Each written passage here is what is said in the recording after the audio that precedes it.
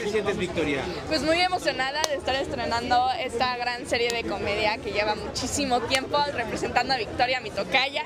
Este, y justamente después de la bioserie de Gloria Trevi, pues qué emoción estar en un proyecto de comedia, pasar del drama a la comedia. Oye, ¿cómo te sentiste? Porque al final va a estar muy divertido lo que vamos a ver. Sí, bueno, la verdad es que va a sonar cliché, pero es un reto para mí porque yo hace mucho no hago algo de comedia y más que estuve en lo de Gloria Trevi, que fue muchísimo drama, y pues pasar a comedia, obviamente me dieron asesorías, me acogieron muy bien toda la producción. Este, y pues siento que lo he agarrado bastante bien porque es, es un estilo de vida, ahora sí que... ¿Cómo vamos a ver a tu tocaya? Cuéntanos. Pues revolucionada. Ok. Porque ¿Hippie?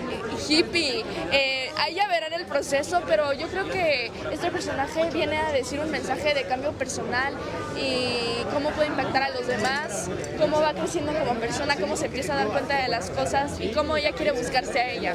Oye, ¿cómo te llegó la sorpresa? ¿Hiciste un casting? ¿Qué fue lo que pasó? ¿Cómo Bueno, aquí? estaba en la serie de Gloria Trevi y hasta que me llamaron y me dijeron, oye, hay un casting para la serie, para el personaje de Victoria. Y yo, ok, bueno, o sea, va a estar complicado porque ese personaje ya existía, pero pues yo voy a hacer mi versión, vamos a ver.